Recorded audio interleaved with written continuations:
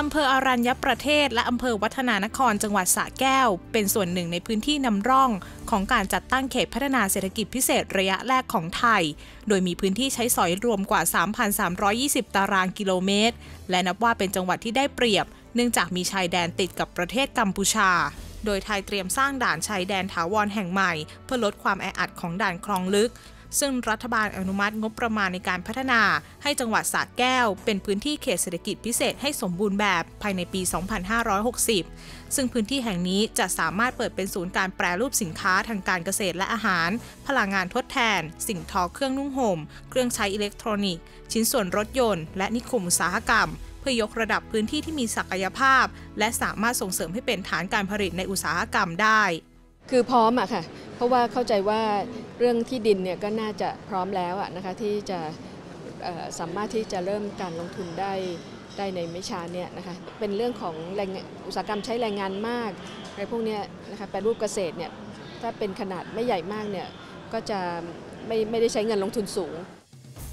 นอกจากนี้กระทรวงอุตสาหกรรม ยังจัดตั้งเขตพัฒนาเศรษฐกิจพิเศษในรูปแบบคัสเตอร์ ตามมติคณะรัฐมนตรี เมื่อวันที่ 22 กันยายน 2558 ด้วย เพื่อยกระดับพื้นที่ที่มีศักยภาพ และส่งเสริมให้เป็นฐานการผลิตในอุตสาหกรรมตามเป้าหมาย โดยจะเป็นพื้นที่ที่มีการกระจุกตัวของอุตสาหกรรมอยู่แล้ว และเชื่อมโยงกับสถาบันทางการศึกษา หรือสถาบันวิจัยในพื้นที่ รวมถึงการเชื่อมโยงแหล่งวัตถุดิบ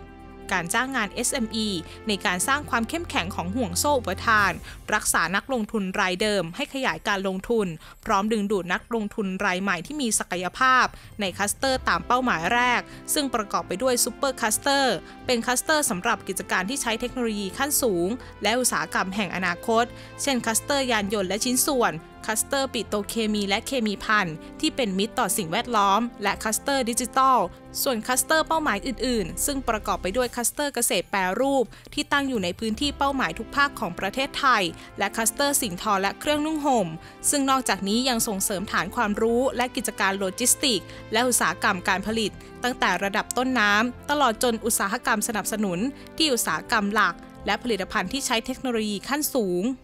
หลาย ๆ จุดเนี่ยก็จะเป็นจุดที่มีการค้าขายกันสูงอยู่แล้วกับประเทศเพื่อนบ้านนะคะเพราะฉะนั้นก็คงจะมีการลงทุนในเรื่องโลจิสติกส์ต่างๆเนี่ยนะคะเพื่อที่จะอำนวยความสะดวก เพราะแนวโน้มที่จะมีการค้าขายระหว่างกันมาก มีแนวโน้มที่จะเพิ่มมากขึ้น การที่ประเทศไทยเปิดพื้นที่เศรษฐกิจพิเศษเป็นฮับ DC หรือศูนย์กลางในการกระจายสินค้า และแปรรูปก่อนส่งออกนั้น นับว่าเป็นก้าวแรกในการเปิดตลาด และฐานการผลิตร่วมกัน ที่จะส่งผลให้ระบบโครงสร้างพื้นฐานด้านสาธารณูปโภคของไทย มีศักยภาพเพิ่มขึ้น และยังสร้างเม็ดเงินจากการค้าทางชายแดน ให้มีมูลค่าเพิ่มมากขึ้นตามไปด้วย